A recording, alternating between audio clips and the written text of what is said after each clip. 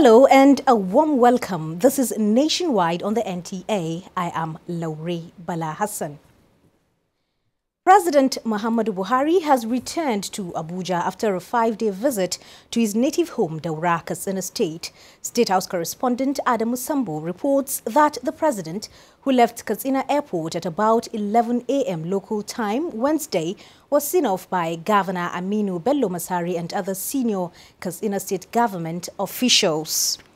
On arrival at the Nnamdi Azikiwe International Airport at noon, President Buhari was received by the Minister of FCT, Muhammad Musa Bello, the Inspector General of Police, Ibrahim Idris, and other government functionaries. The president was in Daura to celebrate Eid al-Kabir, or the Feast of Sacrifice, with his kids and kin, a practice he maintains for a long time. And before leaving Daura, President Muhammad Buhari has challenged youths youths in the country as future leaders to embrace the Change Begins With Me campaign to make Nigeria great through the pursuit of knowledge, patriotic ideals and values that promote national aspirations at an audience with some youth corps members. Serving in Daura, the president pledged his unalloyed commitment to the unity and prosperity of the country.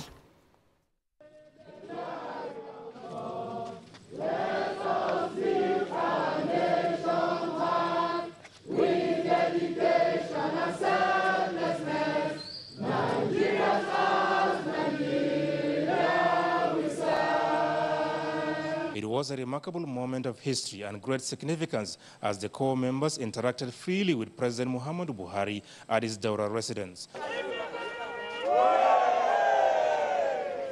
The president urged the corps members to remain focused in life and pursue their dreams, saying those who work hard will surely earn a respectable living. The NYSC scheme, he said, has creditably promoted national unity and cohesion by exposing young people to the unique cultural diversities of Nigeria. Please pursue further knowledge and make sure that you make Nigeria great. Get your objective clear in life and maintain focus. There will be no disappointment.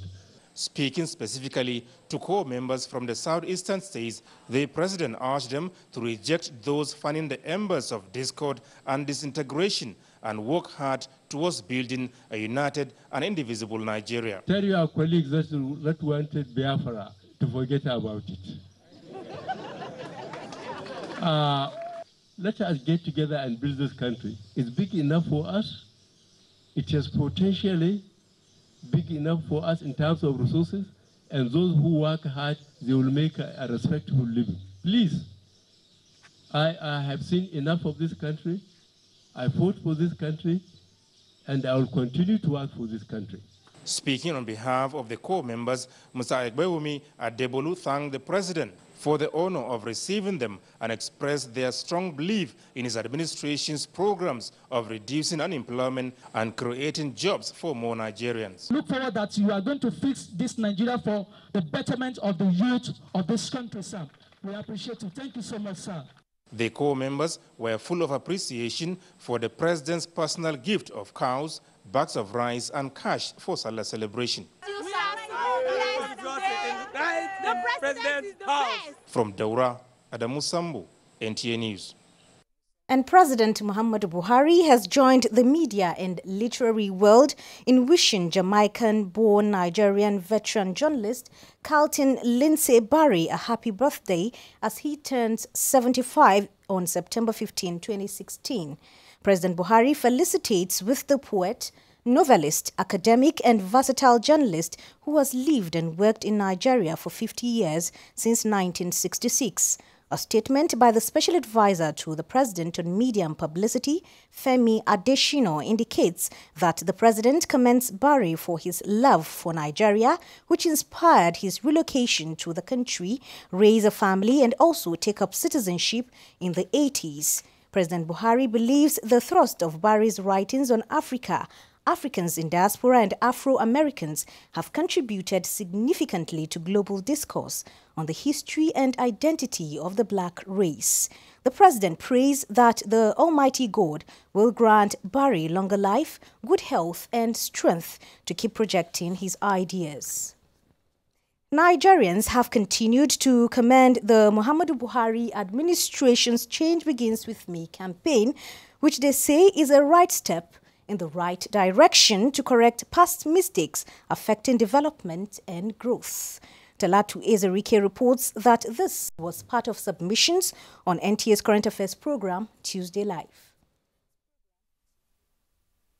In 1984, the Buhari-led military regime launched the war against indiscipline, which many agreed entrenched orderliness and right values for overall growth. Over the years, the values were bastardized as bribery and corruption, culture of indiscipline and impunity, and even insecurity were almost the order of the day.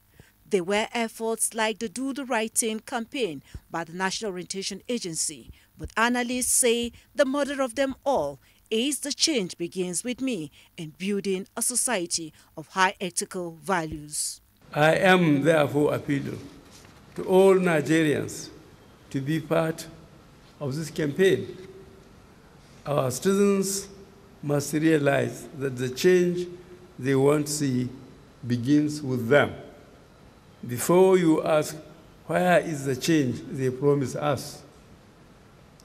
You must first ask, how far have I changed my ways? The language well understood. When you violate our principles, when you violate our values, we bring you to order. We impose sanctions on you.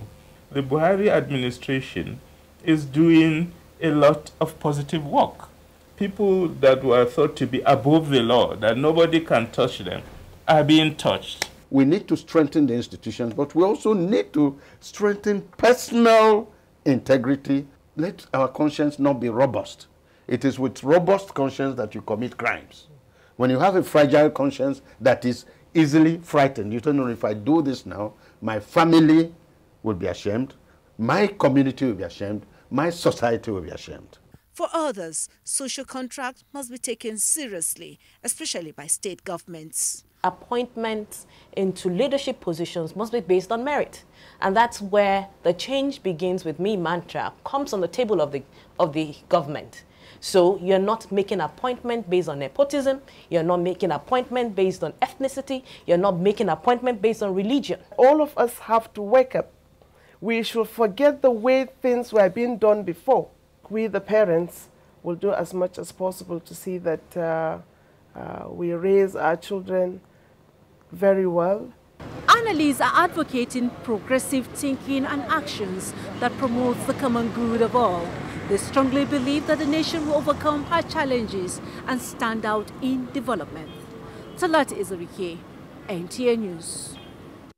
Activities marking this year's Eid al-Kabir celebrations were rounded off in Daura, President Muhammadu Buhari's hometown with a traditional concert.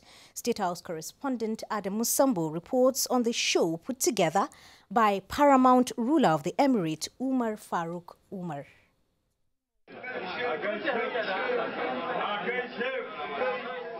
Traditionally, Magaja in Dora is an art of paying homage by the emir and his entourage, the Magaja house, so as to show respect to the Magaja title, been for about 18 females Magaja ruled Dora for many years ago.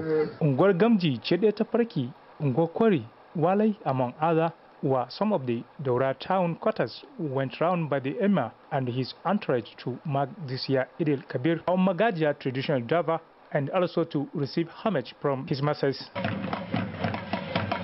In his Salah message, Katsina State Governor Aminu Bello Masari, represented by the State Secretary Mustapha Inua, called Nigerians to tolerate current Nigerian economic recession and pray for proper solutions. However, the Emir of Daura, Alhaji Umar Farooq Umar, through his palace secretary, urged Nigerians to unite in order to create avenue for peace to reign in the country.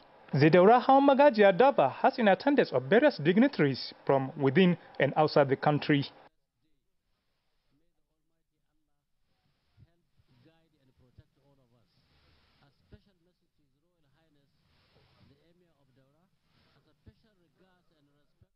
We apologize for the loss of sound in that report. Moving on now. Workers in the Federal Capital Territory say they have keyed into the Change Begins With Me campaign launched by the federal government. At Debola Brookslyn Sunday monitored the resumption of work after the Salah break. It is the first working day of the week after the Eid al-Kabir public holiday declared by the federal government. In every phase of the federal secretariat, workers are already converging to mount their duty posts. Ordinarily, after a holiday like this, you will see many people will not come around. But because we have changed already, so that's why after holiday we are here. And once you don't allow change to begin with you, you'll be left behind. We need to change also, change our attitudes towards work, and um, so we can move the nation to the next level.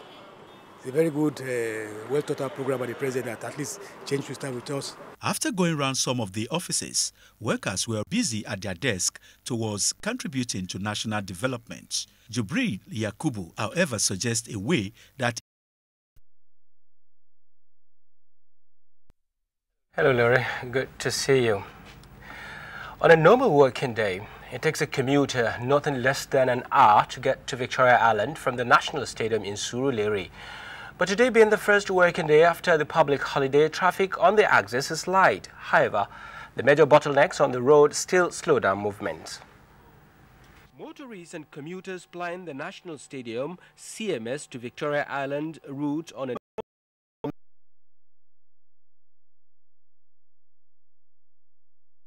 vehicles. Towards the realization of a success of this initiative, the Corps decided to have the sensitization necessary with stakeholders. The Corps Marshal, represented by the Deputy Corps Marshal Training, Ademola Lawal, highlighted some advantages of the use of the device, which include reduction in fuel consumption, low cost of maintenance, and also the importance of good tires. We don't need to take one and if it's between life and death. All we need to do, let's do things the normal way. The Lagos State Sector Commander, Hajenos Omeje, also used the opportunity to address the executives and the drivers on the need for them to appreciate the new speed limiting device as a strategy to safe driving. Through local, subtle arrangement, and that is in Lagos. We did also say that we're going to make Lagos uh, investment friendly. You, have only come back to, to show something to Nigerians that beyond the economic recession that Nigeria is experiencing, your total belief and the total belief of the German government in the economics of Nigeria is unshaken. Earlier, the leader of the delegation, Isabel North, said they have established 23 training centers all over the world, training about 14,000 people annually, and that they would like to same training centers in Lagos. These training centers are geared to train on the one hand the um, architects and civil engineers in the use of uh, drywall, in the use in acoustics and in fire protection, and uh, on the other hand, actually train craftsmen on how to physically and technically install these new products.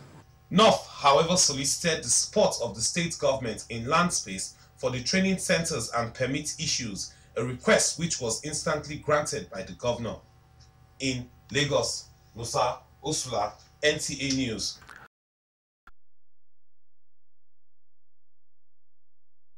The Lagos State House of Assembly recently approved 100 billion naira worth of bond for the state government spanning between 2016 and 2019 which according to them was necessary for the development of the state and would be repaid through the state's internally generated revenue. Lagos, Nusa, Usula, NTA News. And those are top stories at this hour. From Lagos back to you, Lorraine Abuja, for the rest of Nationwide. Lorraine, over to you. Thank you, Abdullahi. And turning our attention now to agriculture. The federal government says it is molding a system that will make agriculture attractive to youths in the Niger Delta as the government intensifies efforts towards addressing environmental and socio-economic challenges in the oil-producing states. This is at a town hall meeting in Bayelsa State, South-South Nigeria, where the Ijaw Youths Council pledged its commitment to support President Muhammadu Buhari's leadership. Musa Baba Aliyu has the details. The town hall meeting with farmers in Yenagoa, Bayelsa State, is to educate and sensitize the farmers on the agricultural policy of the present administration. The forum, chaired by the Minister of State for Agriculture, Heineken Lokpobiri, the United States of America for value chain development in agriculture. Achigile Magaji reports. The Attorney General and Commissioner for Justice, Mike Gusa, signs on behalf of the state government while Nelson Smith signed on behalf of the firm, Juma International. This is the food basket to the nation. Our commitment in working with you is to expand this. We want to become, we want Benue State to become the organic food basket to the world. While receiving the document, Governor Samuel Ortom says this will help develop the potentials for agriculture in the state and assure the firm of good return on their investments. All that has been said here is what we have been dreaming, what we have been looking onto.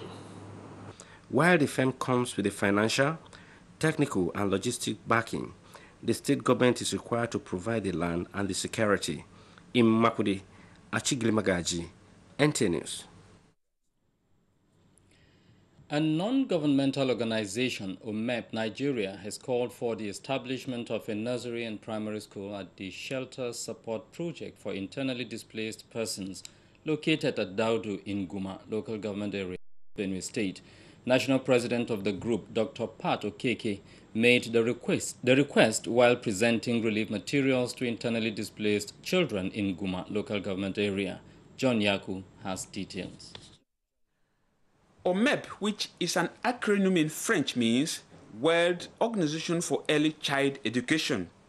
The non-governmental organization was founded in 1948 with the aim of defending and promoting the rights of the child to education. National President OMEP, Dr. Pat Okeke, said the organization is concerned with the plight of displaced children, hence their visit to the camp to identify with them and give them a helping hand. After her assessment of the camp, Dr. Okeke observed that a school must be included in the camp to ensure continuity of education. OMEP is about children, about their welfare and about their education. The wife of the Benue State Governor, represented by her senior special assistant on administration, Japheth Gugu, appreciated efforts of OMEP Nigeria, saying the demand for a school at the camp is the best gift for the displaced children. Beneficiaries of the gesture were full of joy.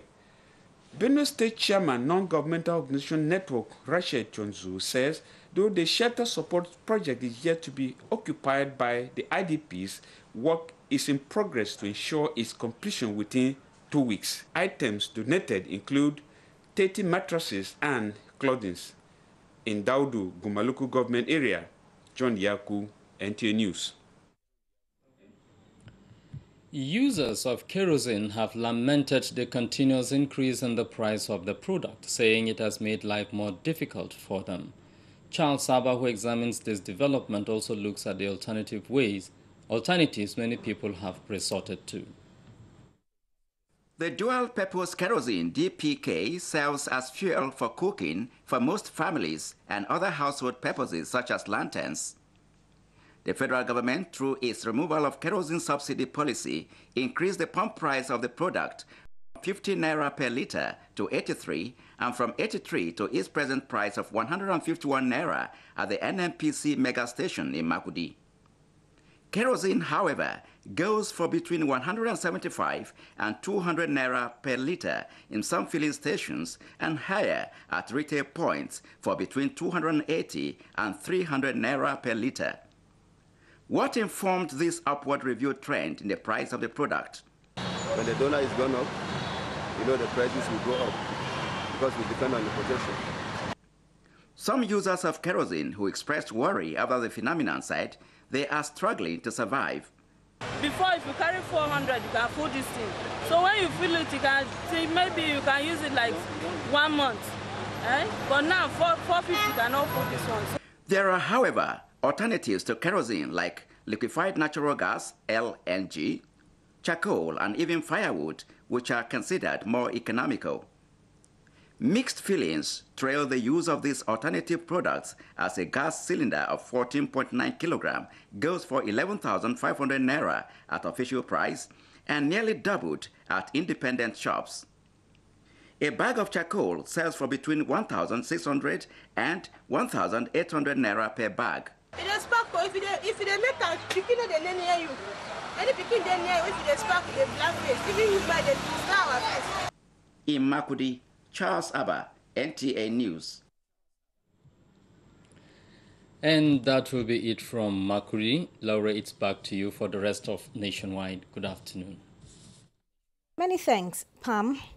You can watch this news live online via the NTA mobile app, which you can download on your Android device at the Google Play Store or at the Apple Store if you use devices with iOS.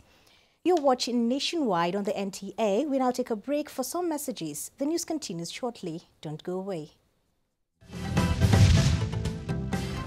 When has it reached this?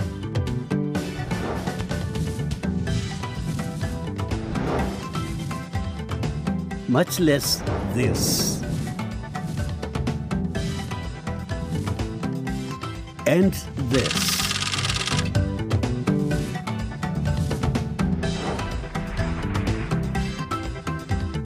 And this.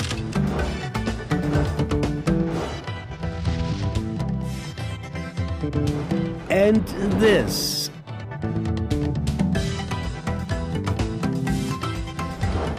Help reclaim our Commonwealth. Lend your support to the fight against corruption for a better Nigeria.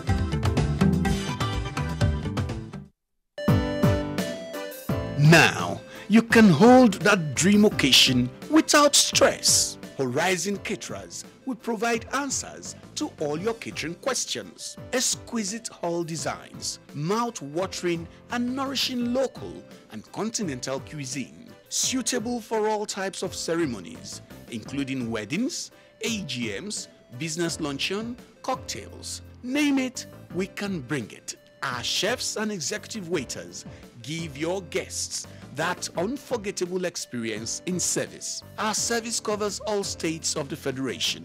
Call us today to book your occasions. 0805 502 9637 0803 450 9726 0909 9708 111 Horizon Caterers Experience catering beyond the horizon.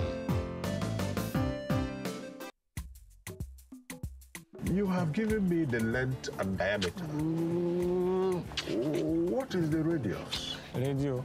The he-goat is dancing on the street, and the foolish and now the philandra is applauding the stupidity of the he-goat. Hey! This week on your award-winning comedy series, Professor John Bull, starring Kanayo Okanayo, Mercy Johnson, Queen Nwokoye, Funky Mallam, Ime Bishop. Saga, saga, saga. Hey, young man, what is your waist size? 34. Uh, what's the size you're wearing? Swag 60. What deal? Double the size? Because we doubled your generation.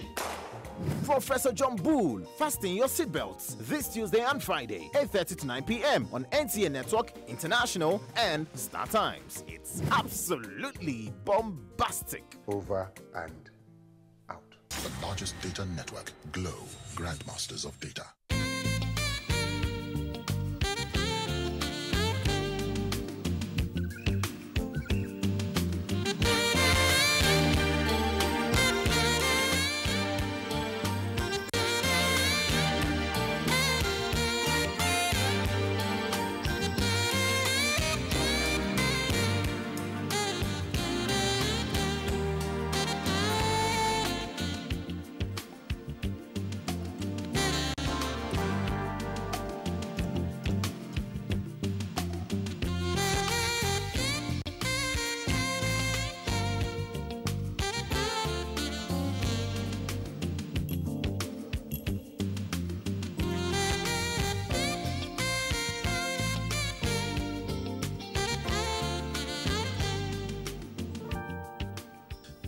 To Sharon Ultimate Hotels, Abuja. The ultimate place to be.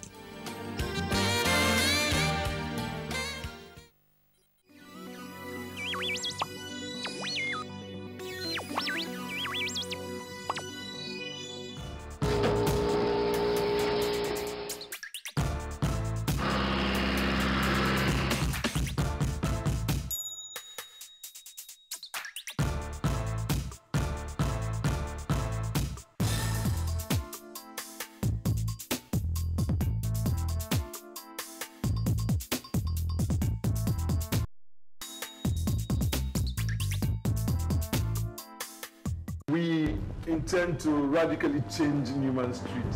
My company has a track record of converting slums into new cities.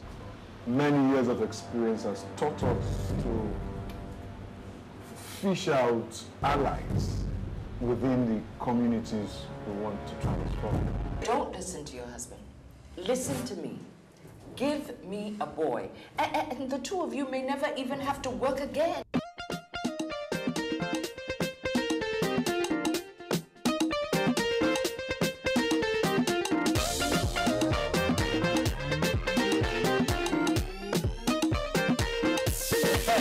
Yes, I've got How What's your name? Akpos America. Oh, Akpos America. Yeah, One, number two. Wonderful wonder. Wonderful wonder.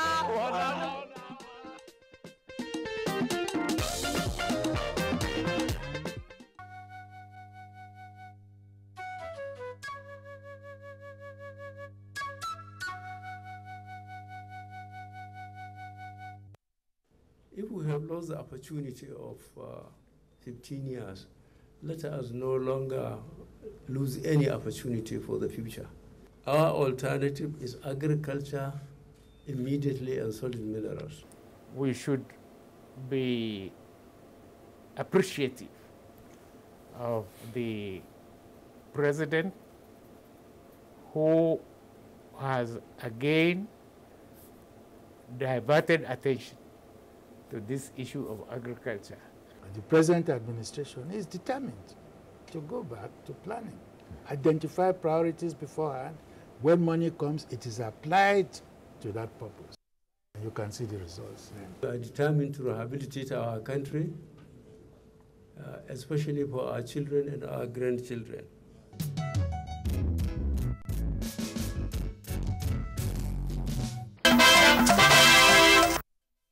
Many thanks for rejoining us and to political matters now.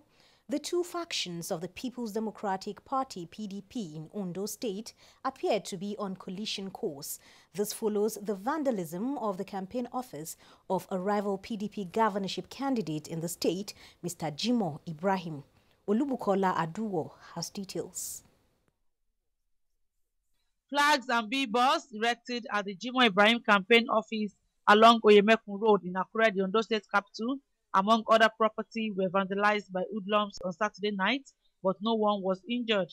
Briefing newsmen on the development, the chairman of the Ali Modu Sheriff-led PDP in the state, Mr. B. Ikoroye, said he and other members of the party had earlier received several threats from some people suspected to be from the Makarfi-led PDP. Some guys came in uh, uh, Mr. Uh, branded vehicle, branded vehicle uh, promising that they will come and attack them. And uh, at about uh, 9 o'clock, I started receiving messages that the place has been terribly attacked.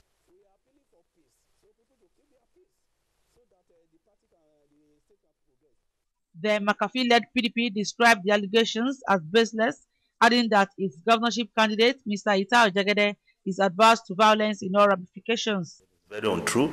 It is very, very untrue, and we don't have any hand in it. He should look somewhere else. Meanwhile, the Ondo State Police Public Relations Officer, Mr. Femi Joseph, said the command has begun investigation into the incident. In Akure, Olubukola Aduwo, NTA News. National Human Rights Commission officials visit Enugu prison. Let's now join Chiagonu in Enugu for details and more. Hello, Chiagonu. It's over to you.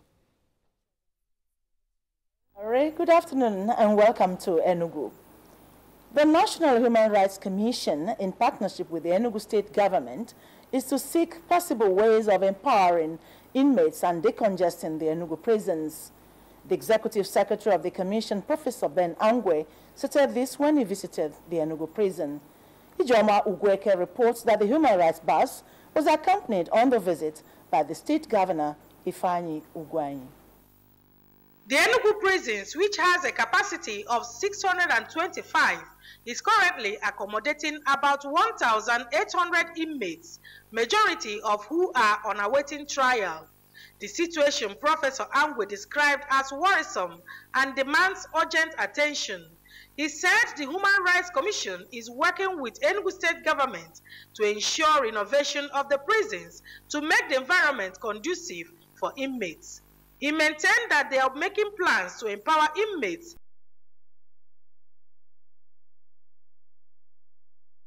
for their release.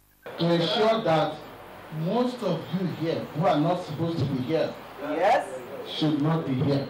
Some renovation should start immediately in your cells.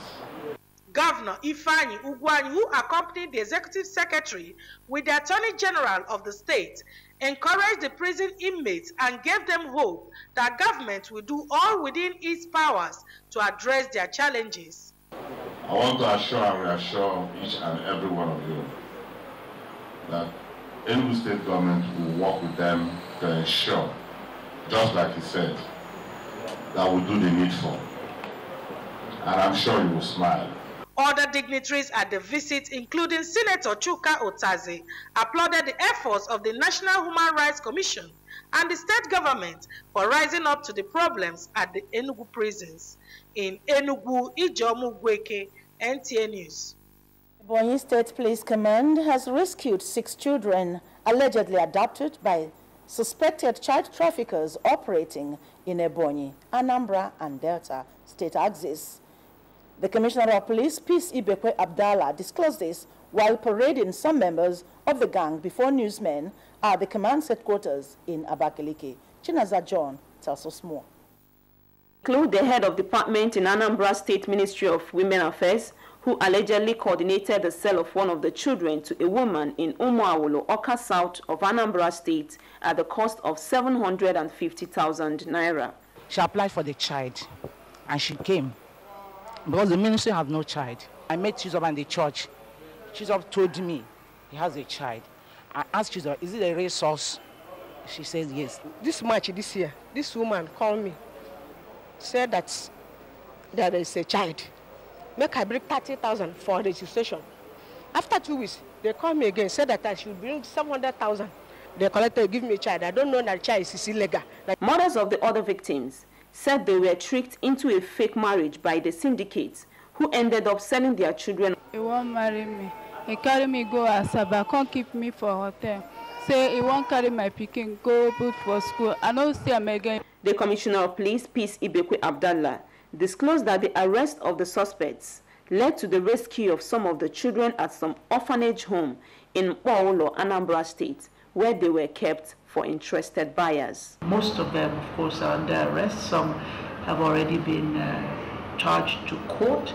Commissioner Abdallah, who disclosed that some of the victims have already been reunited with their parents, advised them to ensure that they leave their children to responsible adults who can answer and defend them in case of emergency.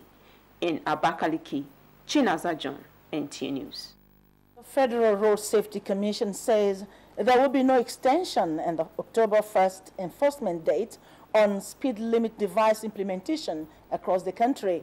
The Corps Marshal Boboye Oyeyemi stated this during a stakeholders meeting in Enugu. Ngozi Silva, Technicare, tells us more. The stakeholders meeting is to sensitize road users and relevant authorities on the imperative of using the speed limit device. The Federal Safety Commission Corps Marshal Boboye Oyeyemi, represented by the Deputy Corps Marshal Administration and Human Resources, Daniel Wachuku, said record shows that overspeeding accounts for more than 70% of road crashes in the country. Statistics noted increases during the ember months, hence the need for its implementation.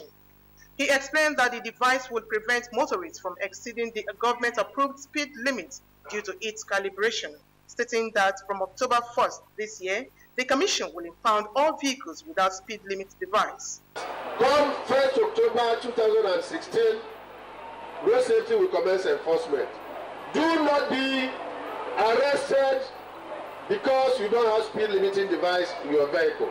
Other stakeholders, were commending the new technological innovation, expressed their willingness to give maximum support to the Federal Road Safety Commission in order to ensure the full implementation of this initiative. Identify with everything that will give life. The Enugu State Sector Commander of the Federal Road Safety Commission, Mr. Daniel Mende, advised motorists to install the speed limiter device through accredited marketers or come to their office for proper guidance. In Enugu, Ngozi Silva Technical, NTA News. That's it from here. Over to you now, Laura, for the rest on Nationwide. Good afternoon. Thank you, Chegonu. And talking health. The people's right to health include the right of access to a reliable standard of health care and assurance that drugs received are not only genuine but safe, effective and affordable. Guests on NTS Good Morning Nigeria were unanimous in their views that shutting down any outlet identified for selling fake drug authentication would curb the scourge of fake drugs and quackery in the Pharmaceutical Society of Nigeria. Abdumalik Adiu reports. It is often referred to as the greatest evil of our time and the highest weapon of terrorism against public health, or an act of economic sabotage. Drug counterfeiting is the most devastating attack on public health in the world over. Experts on Good Morning Nigeria say it is imperative that National Agency for Food and Drug Administration and Control, NAFDAC, and other stakeholders to intensify efforts in the regulation and control of importation, manufacture, distribution, and sales of drugs in order to ensure the availability of safety and quality pharmaceutical products for citizens. Policy inconsistency We have the mo mobile authentication service. In addition to that, we're already talking in-house of using the track and trace method. And this is the method that is used globally. So it's a joint effort. NAFDAC cannot do it alone. So we all have to work together. The discussants encouraged the media as a watchdog to promote public awareness on drug matters in the country. In Abuja, Abdumalik Adio, NTA News. Civil servants in Plateau State resume with a commitment to scale up productivity. For this and more, let's join Caleb in Jos. Hello, Caleb. Hello, Lore. Thank you for joining us in Jos. Governor Simon Lalong has commended the Plateau State Muslim Ummah for successful Eid al-Kabir celebration and prayers for stability and peace in the state. The governor gave the remarks during a Salah homage by the Muslim Ummah in the state at the governor's residence. Correspondent Kim Gotts has the report. Receiving the Plateau State Muslim Ummah by Governor Simon Lalong and other senior government officials of the state appreciated Council of Ummah for the show of concern and love for the state during the Eid prayers. He said his government will continue to address the challenges faced by the Ummah to ensure unity, peace, and development of the state. I also want to thank you and the entire Ummah for the support we are getting. And uh, this is the kind of support that we are expecting, not only for Plateau State, but for Nigeria in general. Leader of the delegation, Chairman Plateau State Jamaatul Nasrul Islam and Emir of Wase, Alhaji Sambo Haruna, represented by the Emir of Kanam, Muhammadu Babangida, applauded the federal government's efforts in the fight against insurgency in the northeast that led to the peaceful Salah celebration. Inform you of your contingents in the South Kingdom of Saudi Arabia, under the able leadership of our chairman of the JNI, the Emir of Wase, Muhammad Sambo Haruna, a successful rituals activities. And uh, Plateau State has been recognized and has been awarded first position in terms of sanitation at the Shema in Nuna. The peak of the event is the presentation of the Salah Kola by Governor Simon Lalong to the Plateau State Muslim Ummah. In Jos, Kim Gotts, NTA News.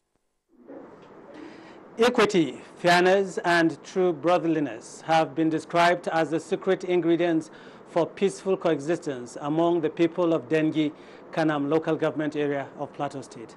Correspondent Nit Dimka reports that illustrious sons of the community charged the people of the area to uphold these virtues during and after the festivities. Converged on the palace in their multitude for the annual Eid al-Kabir Durbar, the majestic procession by the Emir and his council of chiefs signals the commencement of the colorful festival.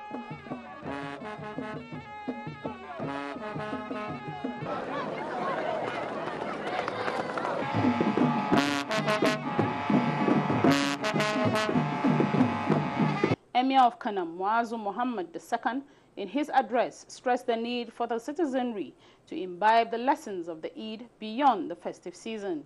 He described the need for harmonious coexistence as panacea for the much-desired economic and infrastructural development of the community. We want them to continue to endure the situation we found ourselves as a country and as a nation.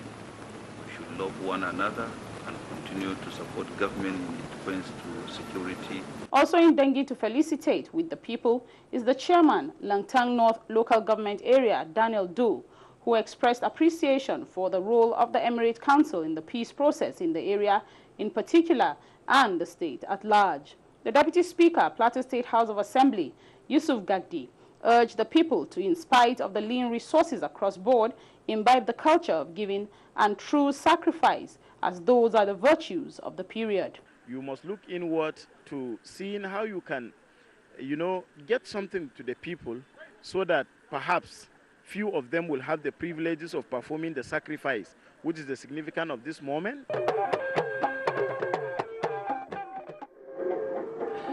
Meanwhile, federal and civil servants in Plateau State have resolved to be more dedicated to their duties. Correspondent Ijoma Ozomina reports that the workers said this at the resumption of work after the long Salah break.